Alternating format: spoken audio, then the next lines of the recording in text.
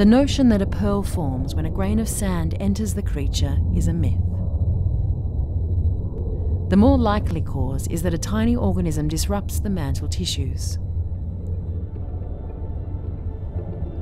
The oyster creates a pearl sac around the disturbance and begins to secrete a smooth crystalline substance known as nacre. Nacre, or mother of pearl, is made of the same material that forms the inside of the shell. It's a combination of calcium carbonate and protein that is both lighter and stronger than concrete.